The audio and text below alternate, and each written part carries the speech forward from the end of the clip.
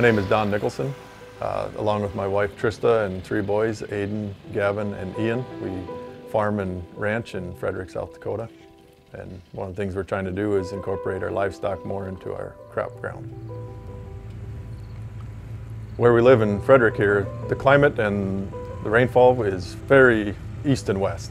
You cross 281, it just starts drying up more. So we have kind of farming in two different areas where the stuff east of 281 we have generally more rainfall. As we go further west it starts falling off and it lends itself more to the livestock side of the operation. Initially I started in the no-till. After college I came back to the farm. Uh, it was just me and my stepfather farming so labor was, it seemed like an easier avenue to go, you know, less tillage, less work, so it started out as a labor saving and then I started seeing, you know, benefits to the, to the soil and doing less work and still keeping up yield-wise with neighbors. You know, we've always had livestock and we've always had crop ground. Focusing on the cattle in the fields longer, start seeing the benefits of the soil health. The crops we grow here are corn, soybeans, oats, triticale, alfalfa, and starting to do a little bit more in the cover crops.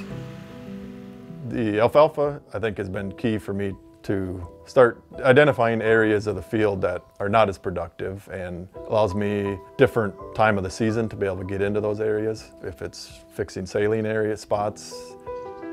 In, in our area, it's also, there are a lot of potholes, so with excessive water, ponding, and ditch effect, saline areas start popping up and expanding, you know, if, if they aren't cared for or treated differently than the rest of your, your crops. I use a lot of precision stuff in my cash crops, so I started using that to identify the poor producing areas and then zeroing in on what those spots need and how to do it. And the best way to do that in my operation is through the cattle and uh, bale grazing. Some of the effects that I've seen in the areas of where I have been bale grazing, after doing it the first year, you know, you, you get the cover, which I believe the cover helps eliminate some of that evaporation. It keeps the soil moisture rather than drying out and bringing all those salts to the top and then wicking moisture from other areas and pulling up more salts. It's part of the healing process. It might not look the prettiest at times, but it's a root in the ground. It's something that's growing.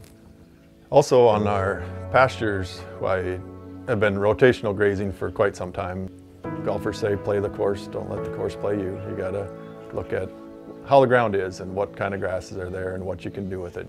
Each area is managed differently, just like in my crop ground, each zone is, is managed differently. So there's challenges every year and every year is a different challenge and what I've found in my soils, you know, building the organic matter, having better soil health, allows me to weather through whichever weather storm I face with.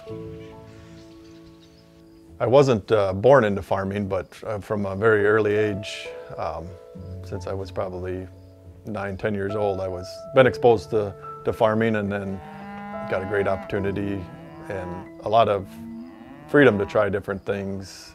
My stepfather gave me a lot of, a lot of freedom that way and, and that's helped me going forward. I remember him always telling me, you know, do what you think's best and you know, that's what I hope to pass along to my, my sons, you know, whatever they're doing is do what they think's best.